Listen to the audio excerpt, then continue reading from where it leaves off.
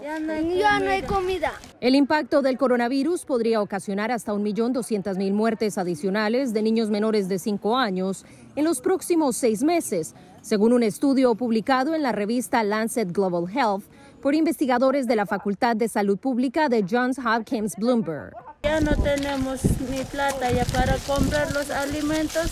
Esto se debe al impacto del nuevo coronavirus en el mundo, que como alertó el Fondo de las Naciones Unidas para la Infancia, ha llevado a la desviación de los recursos de atención médica de los programas de salud y alimentación existentes para combatir el COVID-19. Esto implica eh, que varios gobiernos han eh, implantado medidas, restricciones que son muy importantes para salvar vidas, pero al mismo tiempo hay un impacto económico y social bastante grande en nuestra región. Aseguró en conversación vía Skype con la Voz de América desde Panamá, Nora Restrepo, del Programa Mundial de Alimentos de la ONU para América Latina y el Caribe.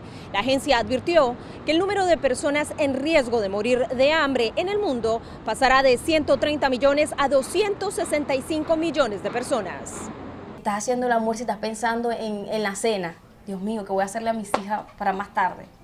Igual te acuestas y ya te acuestas pensando en qué vas a hacer mañana es una angustia, uno no duerme, uno no descansa tranquilo. Venezuela es una de las naciones que según la ONU enfrenta uno de los mayores retos, sin embargo no es la única. En Latinoamérica y el Caribe llegamos el año pasado a 5.1 millones de personas. Estas son realmente las personas que tienen las mayores dificultades para acceder a alimentación.